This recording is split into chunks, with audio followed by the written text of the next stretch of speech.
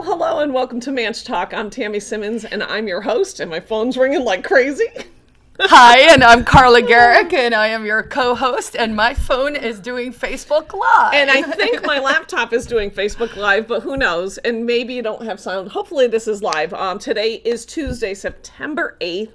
It is primary election day, and I figured if we should tr- get back in the habit we've been saying, we've got to get back to the live feed thing. And Yes, This and was a good reason. Today is important uh, for the people at home. You will probably miss this, but for the folks online, uh, obviously, please come out and come support your fellow. Uh, Republicans and friends down the ticket. I am running in District 20, so that's Goffstown and Manchester wards 3, 4, 10, and 11.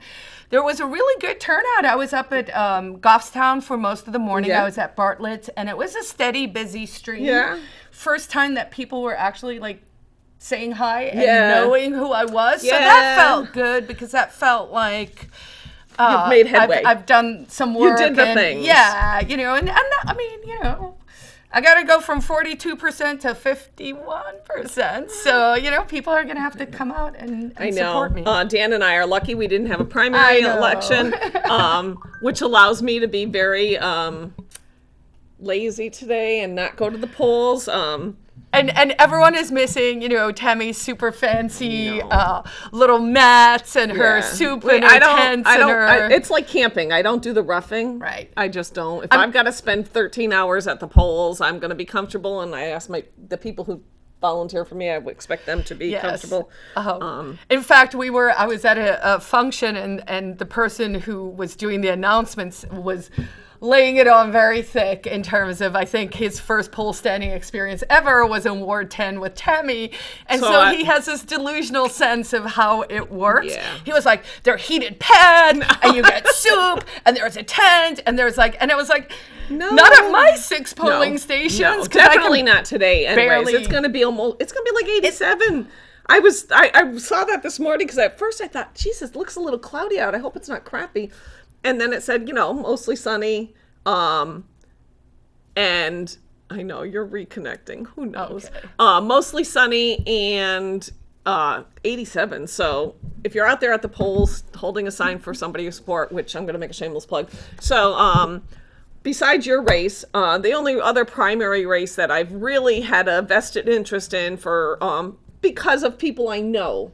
You know, so I have I obviously want Republicans to win in November, but um, there's usually only a handful of cases in the primaries that really are and um, for me, it's in the congressional race in CD1. If you live in CD1 um, and you're not sure who to vote for, you have the choice between Matt Mowers and Matt Mayberry. I um, strongly urge you to cast your vote for Matt Mayberry. He has done more. Um, I love boots- that you're loyal. yeah, and he's boots a really, on the ground. He is a boots on the ground. Yeah. Do what's got to get done to get the Republican candidates elected, um, and that's not an easy thing to do because sometimes you're pushing for somebody that you maybe aren't 100% aligned with. But when you're dedicated to the cause, just like you know what we say with Liberty, when you're dedicated to the cause, you just have to get all in and do it. So if you're in CD1 and you haven't cast your ballot yet, um, Matt Mayberry, if you have any questions, if you're not sure, you can call him directly 603 969 7077. That's his cell phone number. Wow. He'll answer. He'll convince you that you should vote for him today. And good luck to you, Matt. If you good luck to you, you'll be fine. Um, I you'll mean, be fine. I, hope so. If It's if, just weird. I hate that feeling. Even when you know it's going to be fine, it's the most annoying feeling in the world. Well, I'm actually trying to uh, approach this in a in a very like sort of just balanced, um, uh, laissez-faire. you know, like I, have I've done the work that is Yep. necessary to this point. You know, it's it's sort of beyond one's control, and I mean, I think out of Jack and I I'm by far a better candidate, Yeah. and I, you know, I mean, I clearly think I'm better than Lou too, and I think maybe folks are ready for a change. So I, I'm feeling cautiously um, optimistic, and I'll probably have to eat gruel next week. No. Um, so this past weekend was Labor Day, It was indeed. which is you know that last weekend of summer, which it was really really nice. Dan, was beautiful. Dan and I kayaked yesterday. Oh, did you? Yeah. we went out on uh, on the trails Yeah. and we saw.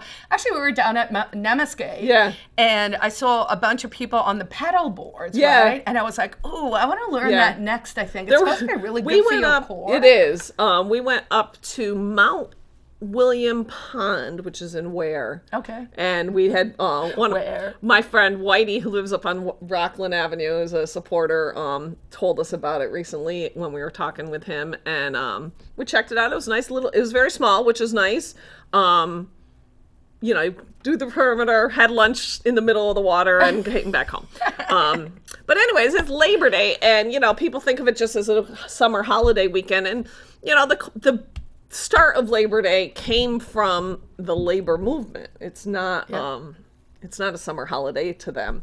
Um, and I watched bits of a video by Mark MacKenzie, who wants to run against uh, Ted Gatsas for executive council, which is probably not what we need um, since he was the former president of the AFL-CIO. I don't know if that's what we need at the executive council level, but he talked about oh the labor movement and how wonderful the labor movement is and how they brought us all these things today and we wouldn't have Labor Day without you know you wouldn't enjoy this weekend if it wasn't for the labor movement, which is a bit much. Um, Well, Which- Labor Day is an international holiday, is. isn't it? And it, I mean, it literally is a communist yes, holiday. yes. So uh, what I was, I thought the irony that here, you know, this former AFL-CIO president who would like to um, dictate your life um, in government w- was talking about the labor movement and how wonderful they are. Just days after we learn that the labor movement, the police union, um, is going to basically force the Manchester taxpayers to spend probably at least $150,000 of your money, your money. Not it doesn't come from some secret pool from some insurance money. This is money that could be spent elsewhere. This is money that could go towards books in classrooms or cleaning up the parks or raises for I don't know, some group that doesn't get raises or whatever. Um, for those of you who aren't There are no such groups. I know, but I'm just saying. Do you really think this is the best use of 150,000? So the story, the backstory, because I don't know if everybody really remembers. The short backstory is um, former police detective Aaron Brown was fired by former chief uh, Nick Willard back in, I believe, he was fired in 2019. 18. He was fired in, In 18? 18. Okay. Yep. So he was fired in like the middle of 2018, and, or maybe like three months into it, three, four months into it. And um, this stemmed from, so the, the this week's story is this went, the union filed a grievance. And the union said, no, no, no, you, sh- he shouldn't have been fired. And they went round and round. And the arbiter, which is binding, said, no, he should have only been suspended for 30 days. He should, and they're, f- the union is forcing the city to rehire this man and pay him his back wages. Now, what did he do? Well, in the the short story, because it's timely and it's in the news, he made really racist comments. He's a police officer and he made really racist comments, and that was In writing, mm. on text, Yes. unequivocally, very clearly. There's written evidence. No one disputes that Right. it was said. Right. So, So that part is like that's t- that's a story you read in today's paper. But for those of you like me who tend to remember things, I just did a little Google. Aaron Brown, Manchester Police. Back in January of 2019, there was an article in the uh, Union Leader because you, the taxpayers, already p- spent $45,000 of your tax money because of this. Because the woman that this cop was forcing to have sex. So, so just to back up, so so the same officer, Aaron Brown, it, um, the the arbitration went. It's circling sort of around the racist comments, Yeah. but the There's actual thing where it started, and I recall when this happened. Obviously, I'm a police accountability person, so I pay attention, Mm-hmm. and I like to see when you know swift action is taken. And I recall when this happened, I was very impressed by Chief Exactly, Willard because he did because I was exactly. like, This is what? wrong That and never fault." happened. That's you right. know? And I was like, wow, Um, okay, I'm going to give you the benefit of the doubt. Perhaps you are, you know, less just stuck in your ways and protecting your own. So this story I, from this article, just so that I don't miss, you know, misspeak.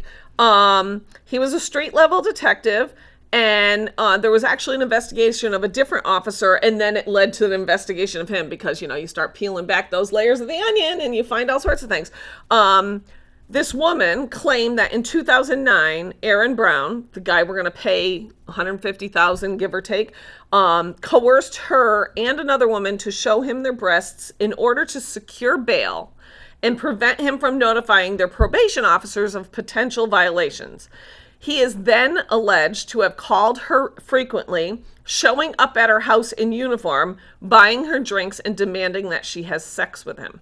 Now, keep in mind, this is a married man with two children who is a cop. Who I'm sorry, if you're a cop, you're supposed to be a there's a caliber of human that I think you need to be.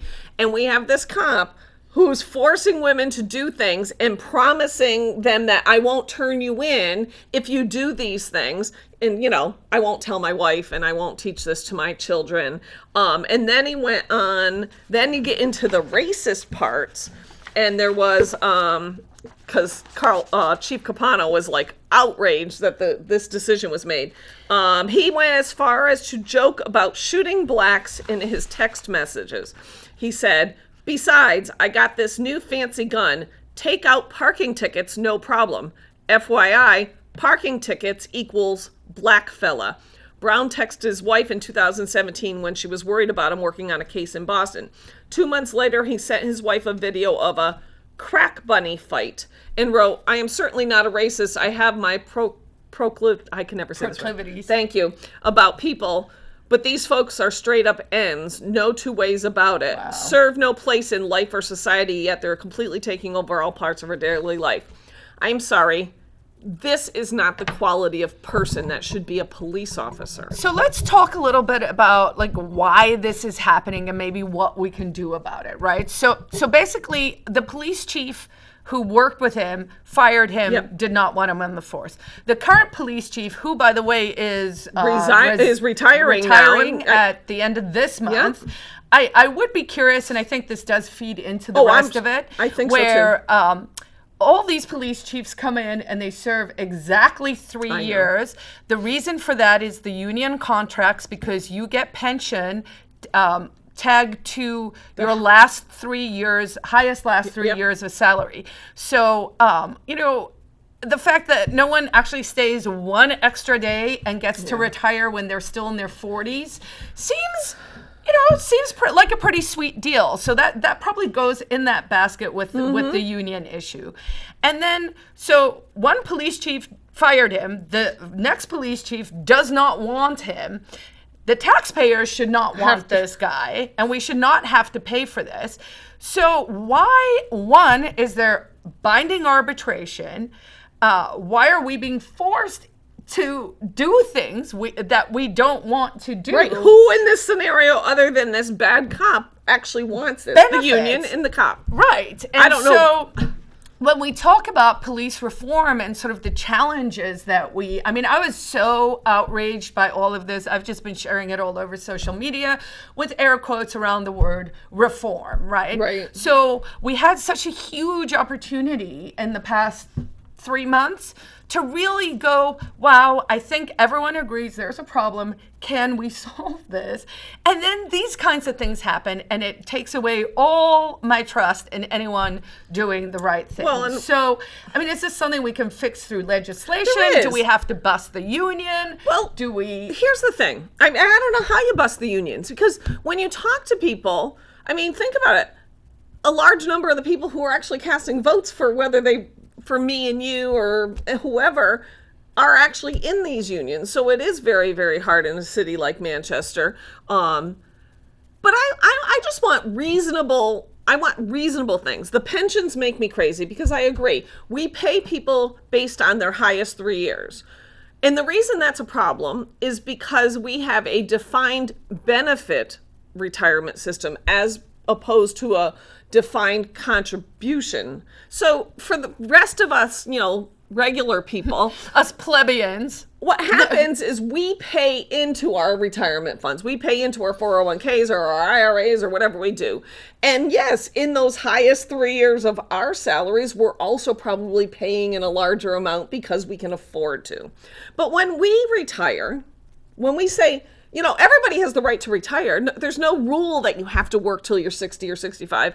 But if I choose to retire prior to a certain age, 64. So in some ways, I'm you in the private sector are forced right, to I'm going to be penalized if I take that money early. So it encourages people to not dip into retirement funds until they're above retirement age. and also encourages private people to to continue to, work Stay in the workforce and, and to provide- stay in the workforce and to provide. But then on the flip side, when we get to we being the state gets to write their own rules, Right. they're like, oh, you know what? It seems reasonable that we should let people retire when they're 48, which I think is I how think- old I think- uh, I uh, Chief um, Capano is. He's young. I mean, he's young looking. And I think do he's probably know that my I do know, and I And I, then they go double dip. So now he's going to get this salary like Chief Willard did. Chief Willard resigned and then went and worked for what was it? I think for Fusion ICE or something, or yeah. Homeland Security So or the you know problem some is, other is that you know I'm you know what I don't really blame um, Chief Capano for wanting to leave at this point juncture because I mean, admittedly, being a chief of police is probably a miserable job right I now. I wouldn't want to be it right now. With right this with this Aaron guy. Brown well, I mean, story and with all the in. protests and people being, I mean, you know, like I'm okay with protesting bad actions by police, but I mean, we all see the videos. There's videos of cops who are writing, you know, a parking ticket and get th- brick thrown at their head. N- not, not okay. Um, so if he wanted to say, "I'm done," that's fine, but you shouldn't be able to get your retirement money. You know, like because that's uh, because it's defined benefit. We have to pay it, whether like it, it never runs out. That's, you know, it, it, it astounded me. I was down in South Carolina a couple of years ago visiting my parents, and I met this gentleman, the sweetest old guy, but he drove a Mm-hmm. really fancy sports Corvette. And I was like, oh, that's, a nice, nice. car. And we got to chatting, and he mentioned, I mean, he had, he had been a firefighter in New York City. Mm-hmm. He worked for 20 years, and he's been on retirement for 48 years. And even if it's only a, I mean, like, I And think- I'm like, that is not sustainable. no, the ma- it's math. This is math, folks. It's like money you in, know, money out. old time pensions. If you go back to you know the '60s or the '70s, pensions were you know you retired at 65, and you know you died at 73. Well, you see, this, and that was it. see, that's another interesting thing. You know, I was trying to think with all this virus stuff and sort of the the outcomes and what are we going to see from this. I think one of the things that saddens me the most is that we've. Uh, it's somehow become acceptable to just kind of leave, you know, your your family members, the elderly, in in the home, and Yeah. we've sort of broken that relationship where you can go and be with your loved ones, especially in hospice when they're passing and those kinds of things. And I find it upsetting because I was like, I, I hope, I hope it's not sort of uh, intentional in the sense that as we move to more socialized medicine, one of the things people don't want to recognize and don't want to understand, but it is true, is that socialized medicine means people have to make hard choices. Yes. And a lot of times they will actually choose to not pro- prolong your life, right? Because it's not enough a good investment. Right. And so, you know, I'm concerned that by taking family members out of the mix in these areas, it might actually create an incentive for people to kind of, you know, just help people along a little faster. Yeah. And, and I know that that happened in New York State during this thing. I mean, that they can actually, there is a study that can show, you know, it wasn't just the COVID, it was, It was know, the way they reacted. Yeah. I saw I saw a thing on Facebook. It was a picture of a plane with you know one of those banners, and it says Cuomo killed Nana. Oh, wow. I thought, and they were flying it over a beach, and I was like, "Ee." I mean, it's, But, eh, it's, I mean, it's he- not untrue. I mean, if you want to look at propaganda, you have to ask yourself, why is everyone saying New York did it right? and I'm like, New York did killed it off all sorts of people wrong. poorly. Yeah. really, really poorly. So what can we do about this? what do you Um, think? Like, should people demand that, you know, should Well, he do a petition, I a letter writing campaign? What else could he do if the, if if they're saying, well, the, uh, I don't know, sexually coercing someone, being a racist is not enough to get you fired? Then, like, what is a Right. I fireable do think offense? I do think uh, this comes down to because it's like, what can I do? I don't really know that I can do anything. I can talk about it, but the problem is, is that there are, and I'm not saying it's all cops because it's not. Um, there are police who act poorly. There are people who are in positions of power, because that's what police are. They have a position of power, who shouldn't. Who maybe don't, some people don't have the appropriate training. Some people haven't had their backgrounds looked into. There's not enough internal accountability. Um, there definitely is not enough transparency. We see this all the time. We don't even know who's on this Laurie's list that says, Oh, you know, but you know, we put together the task force that had almost only law enforcement on it, and the task force came back with close to zero reforms. We're in worse position than we were before it started. So, you I'm have to. I mean, the the down. pressure really has to be from the public on the actual police. I think. But here's my question, though, because of the union contracts.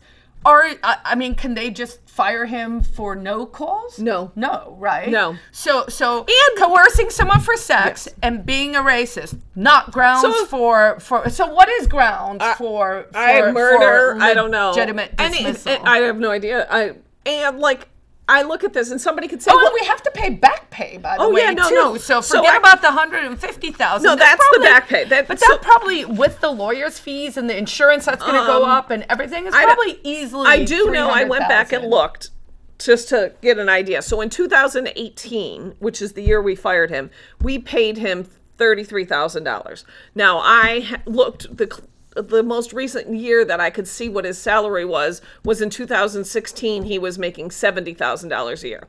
So by 2018, let's say he was making seventy-five thousand dollars a year. And that excludes your benefits, That's which just are your worth salary. 30, 40, 50,000. Um, just saying. Eh, so that means we're easily him that we're going to be forced to pay him 40 grand for 2018 easily right then you figure another 70 75 for 2019 this is assuming that he's only at 75,000 if he became a um different he was a police officer and became a detective there could be a salary bump there.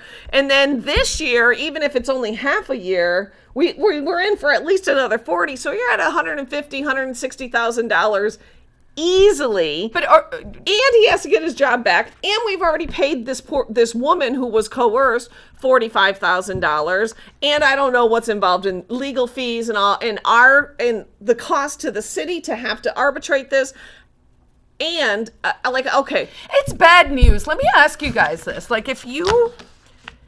If we assume that the structure is that these people work for us, right? Right, So, which so, is so the the, government is supposed to serve our needs, and uh, they they're they're supposed to serve us. Then how, under any kind of system, are we as the taxpayers beholden to this situation where no one wants this guy on the force except this guy clearly and, And the the union. union, and yet we have no power to do anything about that. I find that troubling because that to me means that we are not in charge of this relationship Yeah. at all. So the police are not beholden to the taxpayer. And that seems to be a problem. Well, you have to. You have t- the things you can do as a viewer. You can uh, you can elect people who are going to hold people accountable, who are going to um, look at union contracts and say, like at the city level, you know, look at, at the aldermen. It matters when they look at a union contract and say, wait a minute. How about we don't put this little clause in there? And you need people at the state level who can pass legislation that maybe pro- pulls back what um what is acceptable because they're And, and the problem thing- is is that this all comes down to federal law the pelrb which i always laugh, laugh to say which is like the public employee labor relations board the pelrb whatever you know they they're dictated by federal law so good luck ever fixing it. But i do think we can do things at the state level um, to try to hold people more accountable. And like somebody said to me well what about this woman? Maybe she was not you know maybe she's not the most credible. And i thought okay back up and don't look at all the deep let's just look at superficial stuff. He made texts with his wife that clearly were inappropriate. I don't care if they're within your wife they were not made to be jokes even if they were jokes, these are the things that you find funny. Then he supposedly was doing things, um, making deals with uh, people on probation to keep them out of trouble. And then the one that's the like the icing on the cake is so he lost his job in 2018. He sits home waiting for the union to fix it for him does not look for another job. He stays home for a year and a half, oh, two years, waiting for the union to get to get him his back pay. What kind of person is that? Like who does that? That's not the kind of people we need in government serving us the people. I'm sorry, it just isn't. So anyways, that's the that's the my Labor Day ir- irony story. Um, back to primary day since we're doing this live. Please make sure you get out there and vote. If you're an undeclared voter, you can choose a Democrat ballot or a Republican ballot. I would encourage you to take a, if you live in Carla's district, wards three, four, 10. 10, 11, or Goffstown, or if you live in CD1, please take a Republican ballot. Vote for Carla for New Hampshire Senate, and please vote for Matt Mayberry for Congress.